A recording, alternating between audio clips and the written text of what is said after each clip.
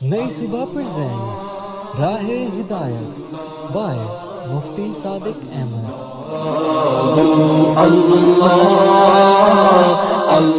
असलकम वरहमतुल्लाहि वबरकातुहू। सामीन कराम, सारी ज़िंदगी हमारी ये ख्वाहिश होती है कि हमें इस दुनिया की बेहतरीन चीज़ें हासिल हो जाएँ, ताकि हम एक पुरसकून और खुशगवार ज़िंदगी गुजार सकें। माल दौलत इज़्ज़त व शोहरत बज़ाहिर एक खुशगवार ज़िंदगी के इसबाब मालूम होते हैं। मगर हकीकत इसके बिल्कुल बरक्स है। अल्लाह तबारक ताली ने हमारी तख्लीक के मुआफ़ हमें ऐसी तालीमात दी हैं कि अगर हम उन पर अमल पैरा हो जाए तो माल व दौलत, ऐश व इशरत और ज़ाहिरी इज़्ज़त व शहरत के बावजूद भी हम एक पुरसकून और खुशगवार ज़िंदगी गुजार सकते हैं। रसूलुल्लाह सल्लल्लाहु अलैहि वसल्लम ने फरमाया कि जिस शख्स को ये चार चीज़ें अता की गई, वो दुनिया और आखिरत की तमाम भलाइयाँ पाएगा। नंबर एक, शुक्र करने वाला दिल। नंबर दो, ज़िक्र करने वाली ज़बान। नंबर तीन, मुसीबतों पर सब्र करने वाला बदन। और नंबर चार, नेको सालेह औरत। सामीन कराम मज़कूरा चार नमतें जिस शख्स को हासिल हो जाए, वो न सिर्फ़ अपनी दुनियावी ज़िंदगी पुरसकून गुजारेगा, बल्कि आखिरत की ज़िंदगी में भी वो फलाह कामयाबी पाएगा। आज के सेशन में हम इन चार चीज़ों के मुतालिक मुख्तसर वजाहत करेंगे। नंबर एक, शुक्र करने वाला दिल। आज हमें बहुत ही कम लोग ऐसे मिलेंगे जो अल्लाह ताला की दी हुई नेमतों का शुक्र अदा करते हों। हमेशा हमारी ज़बान खुदावंदी कुद्दूस की नाशुक्री करने में मसरूफ़ रहती है।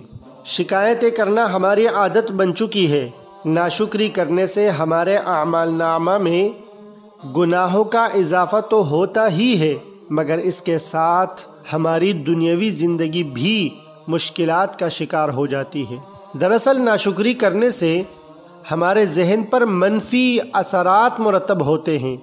इसका नतीजा ये निकलता है कि सब कुछ होने के बावजूद नाशुक्रा इंसान कभी भी खुश नहीं रह सकता। वो हमेशा जहनी दबाव और डिप्रेशन का शिकार रहता है।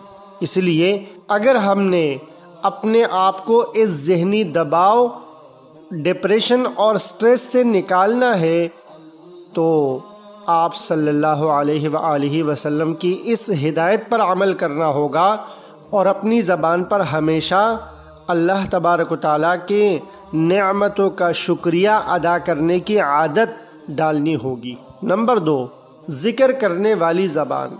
इस बात में कोई शक नहीं कि दिलों का इत्मीनान अल्लाह ही के ज़िक्र में है। ज़्यादा बोलना कई गुनाहों में मुबतला करता है, जिनमें गीबत और तहमत वगैरह भी शामिल हैं। इसके साथ साथ फजूल और लगो बातों में मशगूल रहने की वजह से तबीयत में बेचैनी और बेकरारी बढ़ जाती है। इसलिए लगो और बेकार बातों से परहेज़ करते हुए हमें अपनी ज़बान को अल्लाह के ज़िक्र में मशगूल रखना चाहिए। और अगर बोलने की ज़रूरत पेश आए तो बामकसद और अच्छी बात बोलनी चाहिए। नंबर तीन, मुसीबतों पर सब्र करने वाला जिसम। सामीन कराम, खुशी और गम हमारी ज़िंदगी का हिस्सा हैं।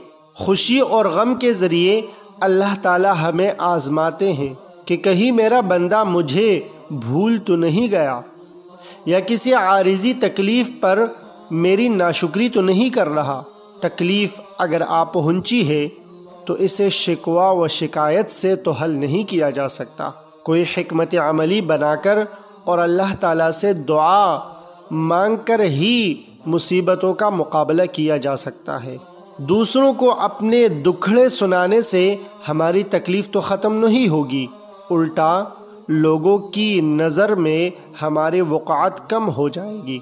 सब्र आपको एक मज़बूत इंसान बनाता है। लिहाजा दूसरों को मौका फ़राहम करने की बजाय तकालीफ़ पर सब्र करें। क्योंकि हर एक दुख के बाद दो सुख हमारे मुंतज़र होते हैं। यानी अगर एक तकलीफ़ मिलती है तो अल्लाह रब्बुल इज़्ज़त दो आसानियाँ अता फरमा लेता है। अल्लाह ताला का महबूब बंदा बनने के लिए ज़रूरी है कि हम सब्र और शुक्र करना सीखें। मुसीबतों पर सब्र करें और अल्लाह की दी हुई नेमतों पर दिल और ज़बान से शुक्र अदा करें। और हमेशा हमारी ज़बान अल्लाह के ज़िक्र से तर रहे। नंबर चार, नेक और सालेह औरत। एक हदीस में आता है कि नेक और सालेह औरत दुनिया की बेहतरीन मता है। शादी के बाद एक नई ज़िंदगी का आगाज़ होता है, इसलिए हमेशा मर्द को नेक सालेह औरत और इसी तरह औरत को नेक सालेह मर्द के लिए दुआ मांगनी चाहिए। दर हकीकत मियाँ बीवी का ताल्लुक़ दो तरफ़ा होता है। जिस तरह एक नेक शोहर की ख्वाहिश होती है कि उसकी बीवी, उसकी मुती और फरमाबरदार हो। इसी तरह एक नेक औरत भी यही चाहती है कि उसका शोहर नेक और साले हो। अब अगर दोनों की तरफ़ से एक दूसरे के हकूक़ की पासदारी का ख्याल रखा जाएगा तो इन मसाइल पैदा नहीं होंगे। इस्लाम में जहाँ शोहर के हकूक़ की बात की गई है, वहाँ बीवी के हकूक़ की तरफ़ भी सख्ती से तवज्जो दिलाई गई है। आज मियाँ बीवी ये कहते हुए जान छुड़ा लेते हैं कि उसने कौन से हकूक़ पूरे किए हैं कि मैं करूँ। फिर नतीजतन इंतहाई कम अरसे में इजदवाजी ताल्लुक़ मसाइल का शिकार हो जाता है और बात अलाहिदगी तक पहुँचती है। अल्लाह तबारक ताली हमें इन इस्लामी तालीमत पर अमल करने की तोफ़ी अता फ़रमाए और ये जो चार चीज़ें आज के सेशन में आपके साथ शेयर कर दी गई है, इनके ज़रिए से हमें दुनिया व आखिरत की तमाम भलाइयाँ अता फ़रमाए। आमीन। वसलाम